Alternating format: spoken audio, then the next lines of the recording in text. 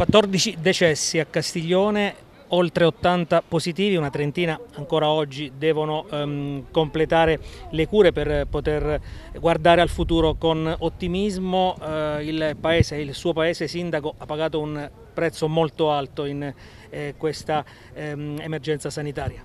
Purtroppo è il comune che ha pagato il prezzo maggiore in Abruzzo, penso anche in Italia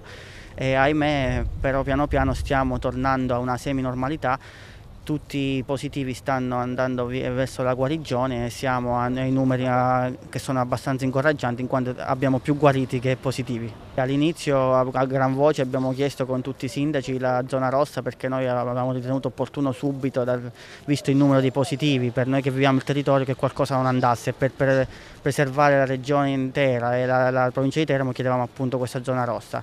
alla fine è stata istituita, ci sono stati anche fatti a, i tamponi, non a tappeto come chiedevamo, però a, una, a un largo spettro di popolazione. Adesso la situazione è migliorata, ma mi auguro che l'attenzione sanitaria non,